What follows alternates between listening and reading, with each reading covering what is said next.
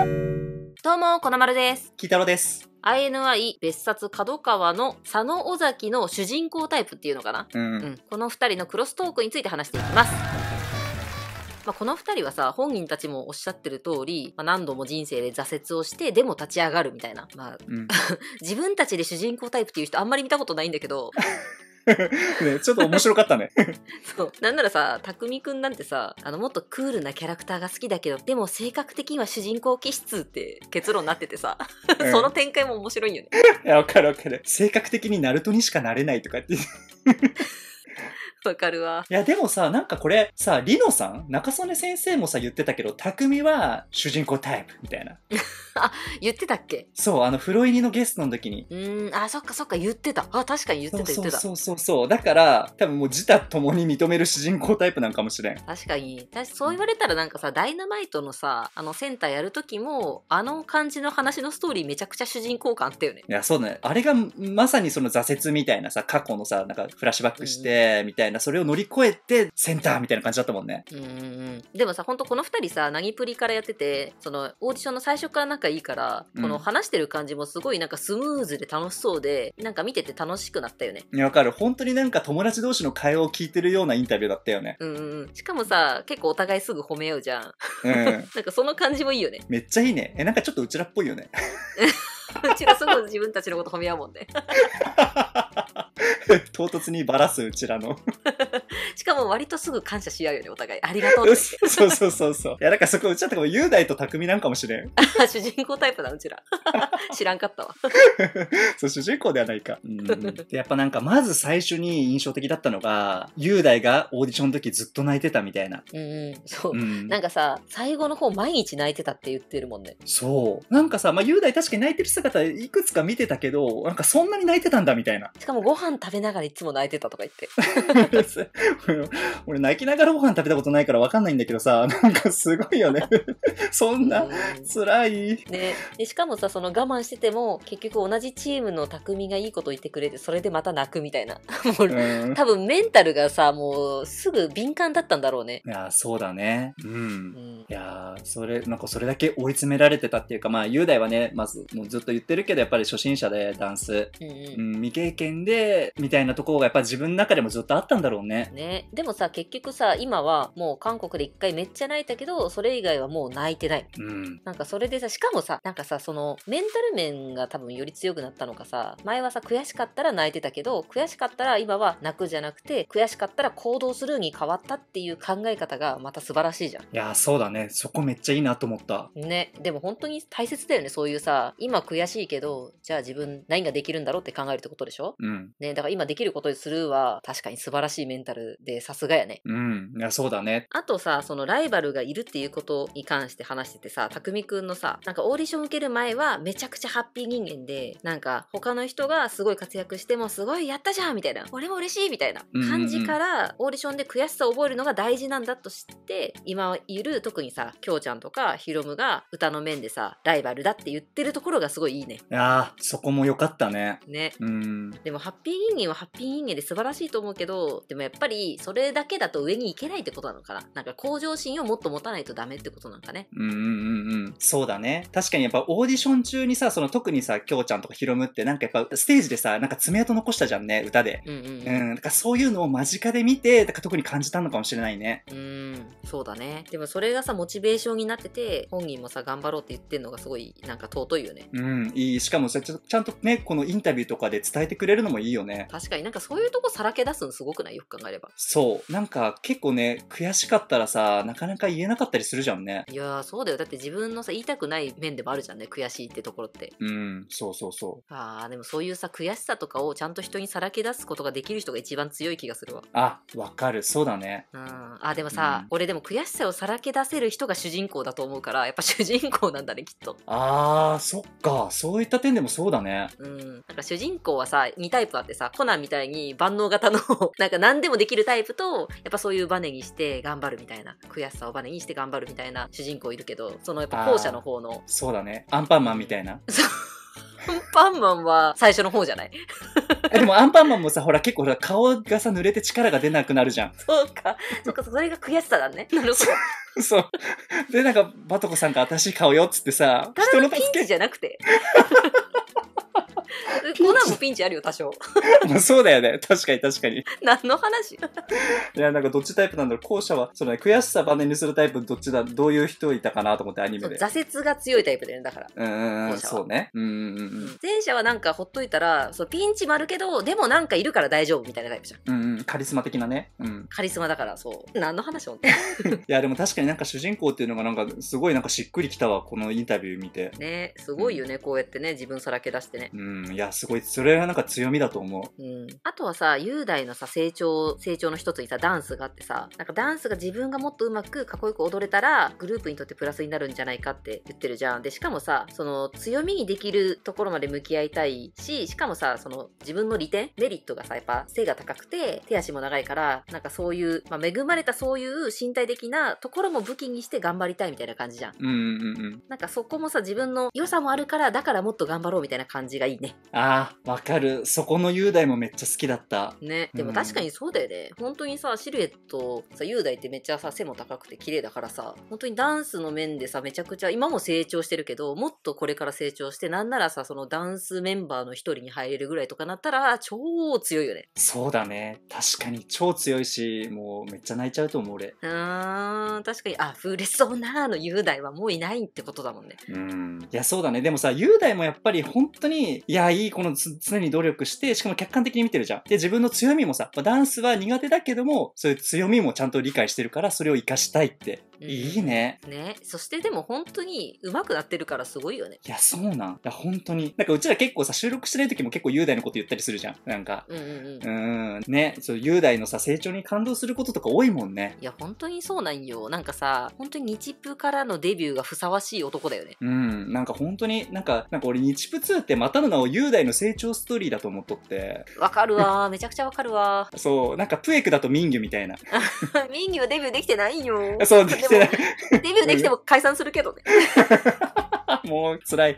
そう、なんか、俺はさ、プエクではミンギだと思っとったんよ、その枠。うんうんなんか、ま、まあ、結局デビューはできなかったけど、そう、なんか、雄大、そう、なんか雄大って、なんか、雄大ってなるん。い わかる。雄大は雄大だよね。や、本当に、そう、だから、なんかそういう、ちゃんと、そう、なんか常に努力し続けてる感じ、デビューしても、ちゃんとね、なんか、そう、自分のマイナスな面もプラスな面も理解して、なんか成長してる感じがすごくいいよね。うんうんうん。本当にそうだよね。で、続いて、アイのアイのさ、今思う武器みたいな、魅力みたいなとこ聞いたら、まず雄大がさ、11人の仲の良さってあるじゃん。うんなんかさ、これ前回の動画でもさ、言ったけどさ、たけるくんがさ、11人は家族みたいなさ、言ってたじゃん。なんか同じような認識なの尊いね。いや、そうだね。なんか、みんな別にさ、その、お互いのインタビュー内容とか知らないはずじゃん。うんうん。うん、それなのにやっぱこういうの出てくるってやっぱみんな思ってんだねってやっぱ再認識するよね。うん、しかも出会って1年ぐらいでこんなに仲良くなれることあるんやってすごく不思議とか言っててさうん。うちらもその空間に行きたいよね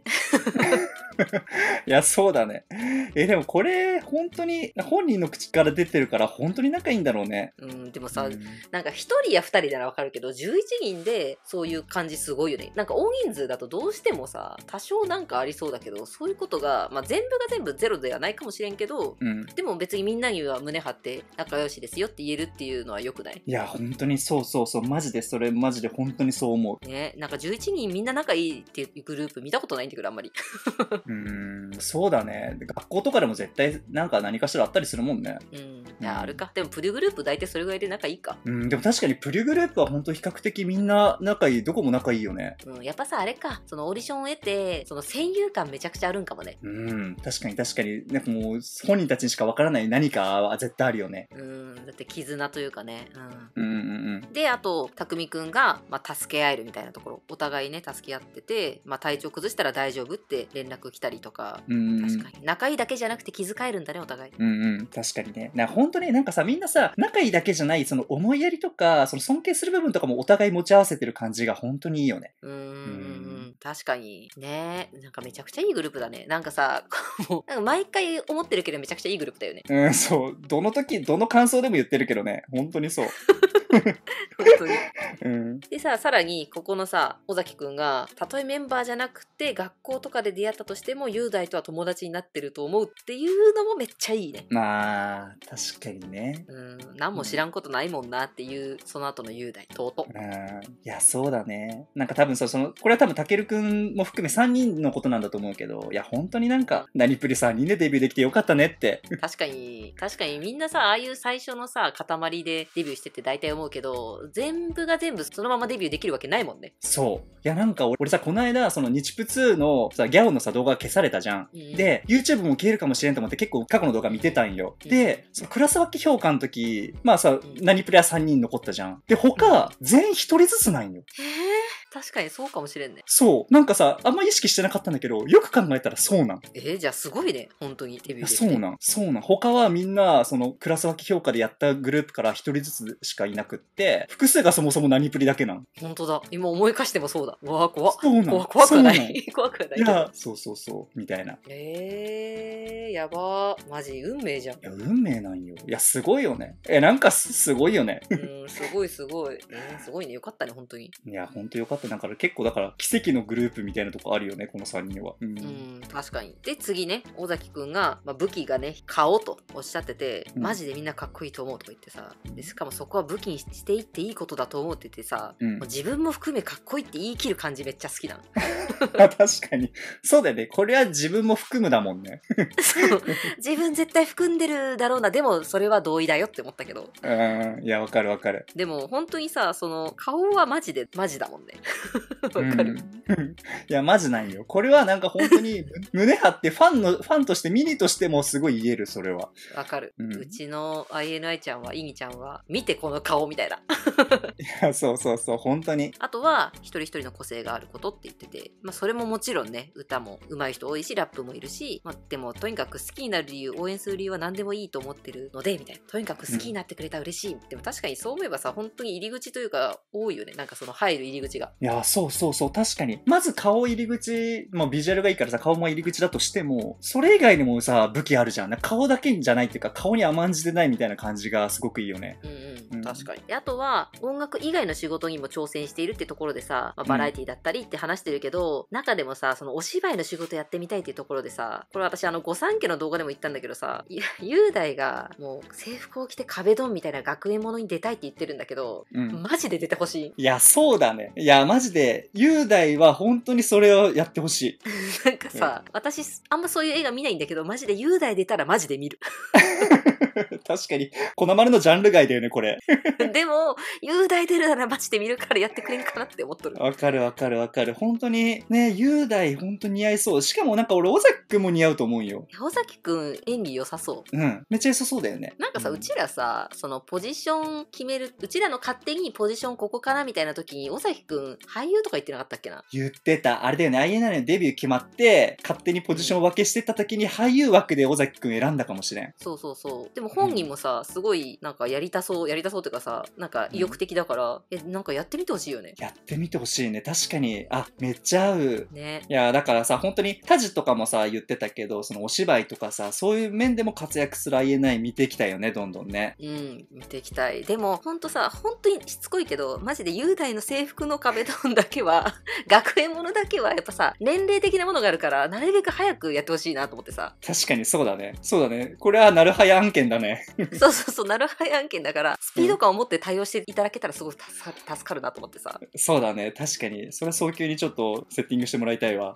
うん。で、あとは、まあ、自分自身のレッスンのお話しててさ、私が好きなのがさ、雄大が歌とダンスも基礎を固めて、ダンスだったらアイソレーション毎日やってとか言ってるけどさ、なんかこれヒロムも同じようなこと言ってるじゃん。うんうんうん。でもさ、なんか、あの、ほら、NCT のさ、翔太郎さんもさ、めちゃくちゃダンスうまいじゃん。うんうんうんうん。ね、あの人でも、毎回、ってか毎日アイソレを練習してらっしゃるんよ。あんなうまいに。あの上手い方でも。そう。ダンス前になんか何、何、なんか何十分かわからんけど、そう、最初ずっとアイソレやってからダンス始めるらしくて、うん。もうあんなうまいにやってたら、もうそれやらにゃいけんやつだなってなっとるからさ、こっちは。ああ、確かにそうだね。え、しかもそう、だからヒロムもやってるってことは、まあ多分その御三家命令なんだろうね、きっとね。やっぱまあ、アイソレやってたら確かにうまく見えるみたいなことあるんかな、うんそうだね。うん、それは本当にそう。可動域やっぱ広くなるし、体の使い方も広くなるし。あー確かにその可動域の凄さはさ、確かにまあ詐欺やばいなっていうの大体可動域まあレンクもそうだよね可動域すごいみたいな大体なるもんね、まあそうだね、そうだね。うんそっかじゃあもう毎日だね確かにうん。いや、だからそうだね。ちゃんと、でも本当に毎日こうやって練習してるっていうのは、この二人のインタビューでも思ったから、やっぱすごいね。うんうんううんん。で以上でねこうやって2人のね話を見てたけど、まあ、まずはすごく仲良さそうで話もポンポン弾んでるんだろうなと思うとなんか愛おしかったねいや、わかるわかる。しかもなんかこの二人の、このインタビュー内の写真とかもすごい、めっちゃ仲良しじゃん、みたいな。足無駄になんか乗せ合ってるんよ そうそうそう。なんかニッコニコで載せ合っとるんよ。ねなんかでも本当にささっきさ太郎さんが言ってたけどさたけるくん含めマジ何プリでデビューしてたのすごいねいや、本当に、いや、マジですごいよ。うんいやよかったねうん。いや、よかった。なんか、うん。いや、強い。いや、すごいね。うん。であとは他にもね最後にうちら的には最後のクロストークリヒときょうちゃん MJ のね3人のクロストークまだあるからその話もね次の動画にしていこうと思います、まあ、だからさ次のクロストークの話が楽しみだよねそうだね。